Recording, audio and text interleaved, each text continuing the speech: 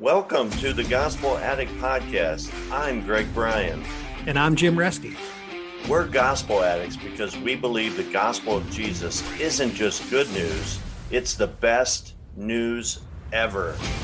We're addicted to the gospel because it doesn't just start us out in the Christian life, it is the Christian life. Join us as we look at the Bible through the lens of the gospel. Thanks so much for listening. I love that Charlie Brown special. I think it's it's it's it's wonderful. It's a tradition for a lot of Americans to watch that every every year around Christmas time. But what is the true meaning of Christmas? Christmas is one of the most popular holidays around the world. I mean, it is celebrated around the world in just about every country. But what is it about? You know, if I was in your country and I was at a program like this, around a major holiday, I would, I would be interested in finding out what the history of and what is the, the deeper meaning to that holiday.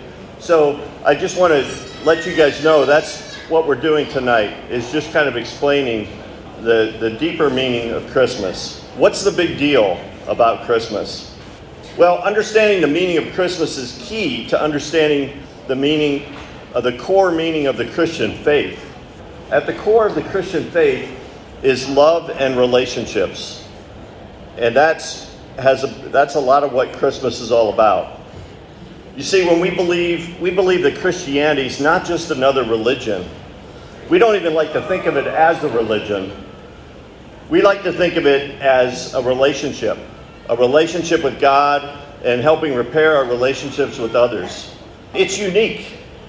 And if it's true, which I believe 100% it's true, it's the best news ever. We believe it's the ultimate cosmic love story. And let me explain it to you this way. Does anyone here like pets? Well, I can tell you one thing, and you probably have learned this Americans love pets. And when I grew up, I grew up with all kinds of different pets. I had pet turtles, I had pet fish, I had a dog, um, I had frogs, I had gerbils, but I also had parakeets. Uh, anybody seen a parakeet? See the picture behind me? I had a pet parakeet. I just want to tell you the story of that pet parakeet. When I was 14 years old, I was going through a, a really tough time. My parents were going, getting divorced, and I was really struggling. During this time, my uncle took me to a pet store and he bought me a parakeet. And I named that parakeet Rocky. And I spent a lot of time as a young man with that parakeet. In fact, I, I taught him how to whistle, I taught him to say words. He could say his name. Um, I taught him how to fly to my finger. I'd open the door of his cage and he'd fly to my finger. I'd put him on my shoulder. I'd take him all around my house. I taught him how to drink from the, the sink, um, all kinds of stuff. Uh, everything was great in Rocky's life. But then one day, things changed. I took Rocky into our family room, and he was flying around, and he flew somewhere he'd never gone before. He flew up to this built in shelf uh, against the wall of our family room. And he was walking around on that shelf, and when he walked to the end of the shelf, he fell down a shaft, a very narrow shaft that went all the way for, to the ground and he just started squawking and flapping. He couldn't get out of there, he was stuck. Um, and as you can imagine, when something like that happens, you panic. You're like, what? You, what? He uh, he couldn't fly out of there. He couldn't climb out of there. It was just very very narrow shaft. But he couldn't save himself. And at first, I didn't know what to do. But then I came up with an idea. I went to his cage and I got his little swing and I tied a string on it. And I, I, I lowered that string all the way down the bottom of the, the, you know, where he was trapped. And eventually he grabbed onto it. And I pulled him up and he was like hanging upside down.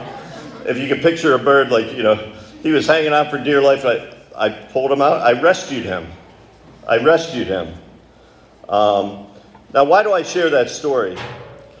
Well, because it illustrates one of the most important things that we believe about Christmas.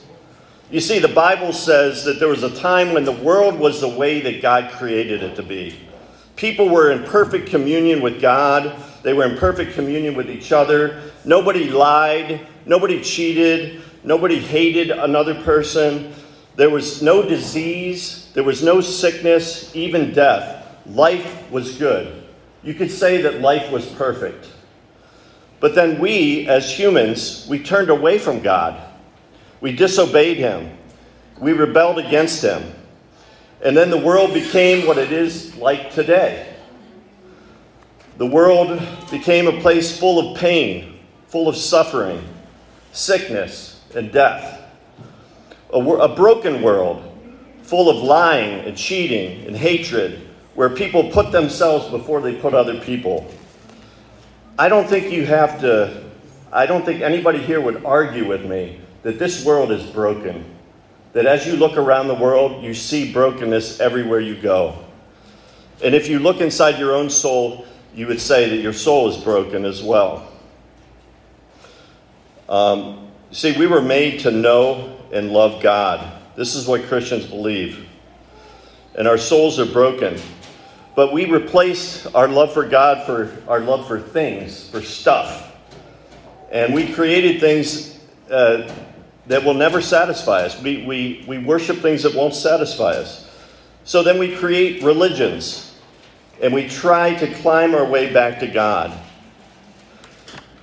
And so these, these ladders on the screen and then this ladder here, to me, represents what religion represents.